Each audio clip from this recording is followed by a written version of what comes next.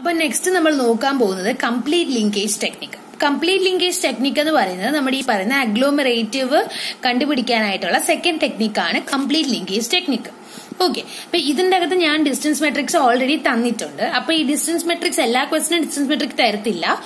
ഞാൻ നേരത്തെ തന്നതുപോലെ കണ്ടുപിടിക്കാൻ ക്വസ്റ്റ്യൻ ചോദിക്കാറുണ്ട്. അതായത് സാധാരണ ഡേറ്റ് തന്നിട്ട് ഡിസ്റ്റൻസ് മെട്രിക്സ് എഴുതാൻ പറയാറുണ്ട്. ഇതിലിപ്പോ ഞാൻ ഡയറക്റ്റ് ആയിട്ട് തന്നിരിക്കുന്നു എന്നേ ഉള്ളതേ ഉള്ളൂ. ഓക്കെ അപ്പൊ ഇതിൽ സിംഗിൾ ലിങ്കേജിൽ നിങ്ങൾക്ക് അറിയാലോ ഫസ്റ്റ് നമ്മൾ എന്താണ് മിനിമം കണ്ടുപിടിക്കുക. അത് കഴിഞ്ഞിട്ട് മിനിമം കണ്ടുപിടിക്കുക. മിനിമം വാല്യൂ എടുക്കുക. അത് കഴിഞ്ഞ് എന്ത് ചെയ്യുക? അതിന്റെ മെർജിങ് വാല്യൂസ് ഏതൊക്കെയാണ് എടുക്കുക. അത് കഴിഞ്ഞ് നമ്മൾ അതിന്റെ ഡെൻഡ്രോഗ്രാം വരയ്ക്കുക.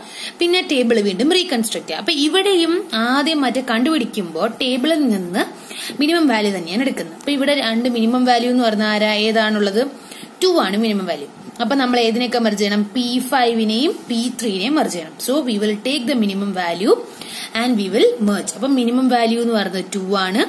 And we will merge P three and P five okay അപ്പൊ ഇനി നെക്സ്റ്റ് നമ്മൾ എന്ത് ചെയ്യുക? ഇതിന്റെ ഡെൻഡ്രോഗ്രാം ക്രിയേറ്റ് ചെയ്യുക. അപ്പൊ ഇതാണ് ഇതിന്റെ ഡെൻഡ്രോഗ്രാം എന്ന് പറയുന്നത്. അപ്പൊ ഡെൻഡ്രോഗ്രാം എന്താണ്? P three P five merge ചെയ്ത് ടു എന്ന വാല്യൂ ആണ് കിട്ടിയത്. ഇനി നമ്മൾ എന്ത് ചെയ്യണം? നെക്സ്റ്റ് സ്റ്റെപ്പ് എന്ന് പറഞ്ഞാൽ റീകൺസ്ട്രക്ട് ദ ടേബിൾ അപ്പൊ ഈ റീകൺസ്ട്രക്ട് ചെയ്യുമ്പോൾ നമ്മൾ എന്ത് ചെയ്യുക? നേരത്തെ പോലെ P one P two P three P five P four P one P two P three P five P four അപ്പൊ പി വൺ തന്നിട്ടുണ്ട്. പി ടു പി വൺ തന്നിട്ടുണ്ട്. ഇനി പി ത്രീ പി ഫൈവ് തന്നിട്ടില്ല. അപ്പൊ ഇവിടെ നമ്മൾ നേരത്തെ സിംഗിൾ ലിങ്കേജിൽ നമ്മൾ പറഞ്ഞ എന്താണ്? പി ത്രീ പി വണ്ടെ വാല്യൂ എടുക്കുക. പി ഫൈവ് പി വണ്ടെ വാല്യൂ എടുക്കുക. എന്നിട്ട് അതിനിടെ മിനിമം ആണ് എടുത്തുകൊണ്ടത് ഇവിടെ എന്താ ചെയ്യുന്നത് വെച്ചാൽ പി ത്രീ പി വണ്ണിന്റെയും പി ഫൈവ് പി വണ്ണിന്റെയും മാക്സിമം ആണ് എടുക്കുന്നത്. അപ്പൊ നമുക്ക് നോക്കാം. അപ്പൊ പഴയ ടേബിൾ നോക്കുകയാണെങ്കിൽ P three P one P three P വണ്ടെ value എത്രയാണ്? ത്രീ ഓക്കെ ഇനി അടുത്ത എന്താണ്? P five P one P five P വണ്ടെ value eleven അപ്പൊ ത്രീയും ലെവനും എടുക്കുമ്പോൾ ആരാണ് മാക്സിമം ലെവൻ ആണ് മാക്സിമം അപ്പൊ അതായിരിക്കും നമ്മൾ എന്ത് ചെയ്യുന്നത്? ഇവിടെ റെക്കോർഡ് ചെയ്യുന്നത്. ഓക്കെ ഇനി നെക്സ്റ്റ് വീണ്ടും P three P five P two ആണ് ഈ column P three P two അപ്പൊ പി ത്രീ പി ടുവും പി ഫൈവ് പി ടു ആണേ. അപ്പൊ P three P two will give you seven and P five P two will give you ten അപ്പൊ സെവനും ടെന്നും എടുക്കുമ്പോൾ ആരാണ് മാക്സിമം ടെൻ ആണ് maximum അപ്പൊ അയാളെ ആയിരിക്കും ഇവിടെ ഇരുന്നത് ഇപ്പൊ ഡിഫറൻസ് ക്ലിയർ ആയെന്ന് വിശ്വസിക്കുന്നു. കാരണം നേരത്തെ നമ്മൾ മിനിമം ആണ് എടുത്തത് സിംഗിളിൽ ഇവിടെ മാക്സിമം വാല്യൂ ആണ് എടുക്കുന്നത്. ഓക്കെ ഇനി അതുപോലെ പി ഫോറും പി ത്രീ പി ഫൈവ് നമുക്ക് നോക്കാം.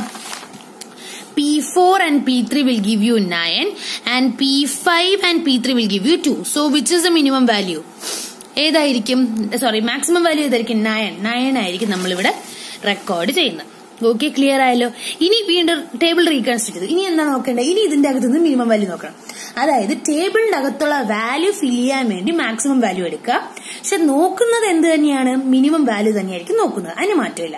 അപ്പൊ ഇതിനകത്ത് മിനിമം വാല്യൂ ആരാണ്? ഫൈവ് ആണ് മിനിമം വാല്യൂ അപ്പൊ ആരൊക്കെ നമ്മൾ മെർജ് ചെയ്യണം? P four and P two should be merged അപ്പൊ നമ്മൾ minimum value will be five and we should merge P two and P four അപ്പൊ നമ്മൾ dendrogram വരയ്ക്കുവാണ്. P two P four will be merge in the value five അപ്പൊ വീണ്ടും എന്താ ചെയ്യുക reconstruct the table how will you reconstruct table table construct ചെയ്യാൻ എന്ത് ചെയ്യണം? Maximum value use ചെയ്യണം. അപ്പൊ നോക്കിക്കേ. P one P two P four P one P three P four എഴുതാം. ഇനി പി ടു പി വൺ അപ്പൊ P two with P one P four with P one അപ്പൊ നമുക്ക് ഇനിഷ്യൽ ടേബിൾ നോക്കാം. P two with P one is nine and P four with P one is six അപ്പൊ ആരാണ് maximum value nine ആണ് maximum value അപ്പോ nine എഴുതാം. Okay അടുത്തത് P three P five already ഈ ടേബിളിൽ നിന്നുണ്ടല്ലോ. ആ ലെവൻ അതുപോലെ അങ്ങ് താഴെ എഴുതാം.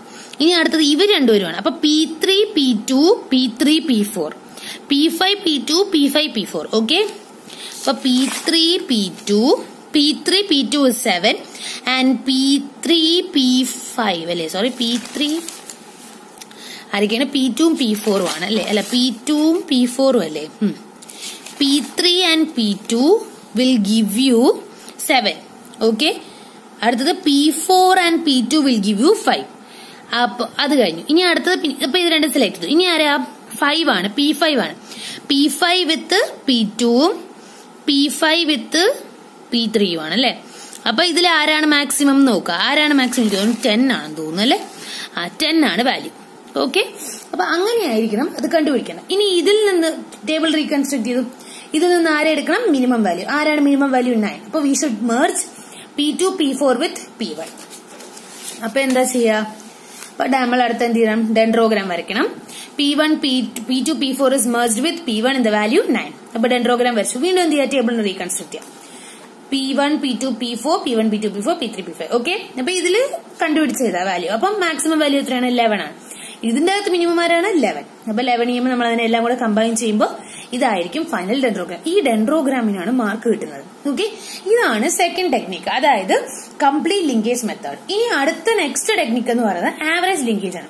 അപ്പൊ ഇതിന്റെ ഒരു ക്വസ്റ്റ്യനും കൂടെ തരാം. അതെന്തായാലും നിങ്ങൾ വാട്സാപ്പിൽ ആൻസർ പോസ്റ്റ് ചെയ്യണം കേട്ടോ. ഇതാണ് question find the complete linkage for the following data ഇപ്പൊ ഇതിൽ നിങ്ങൾ എന്ത് ചെയ്യണം? ഡിസ്റ്റൻസ് മെട്രിക്സ് തന്നിട്ടില്ല. അപ്പൊ നിങ്ങൾ ഡിസ്റ്റൻസ് മെട്രിക്സ് കണ്ടുപിടിക്കണം. എന്നിട്ട് കാൽക്കുലേറ്റ് ചെയ്യണം. അപ്പൊ ആദ്യം അറിയാലോ ഫസ്റ്റ് മിനിമം കണ്ടുപിടിക്കുക ടേബിളിൽ നിന്ന്. അത് കഴിഞ്ഞതിന് ശേഷം ഡെൻഡ്രോഗ്രാം വരയ്ക്കുക. അത് കഴിഞ്ഞ ശേഷം ടേബിൾ റീകൺസ്ട്രക്ട് ചെയ്യുക. ടേബിൾ റീകൺസ്ട്രക്ട് ചെയ്യുമ്പോൾ എങ്ങനെ റീകൺസ്ട്രക്ട് ചെയ്യുന്ന ടേബിളിന്റെ അകത്തുള്ള വാല്യൂ ഫിൽ ചെയ്യുമ്പോൾ മാക്സിമം വാല്യൂ വെച്ച് കണ്ടുപിടിക്കുക. വീണ്ടും ടേബിളിൽ നിന്ന് മിനിമം വാല്യൂ എടുക്കുക. മെർജ് ചെയ്യുക. ഡെൻഡ്രോഗ്രാം വരയ്ക്കുക.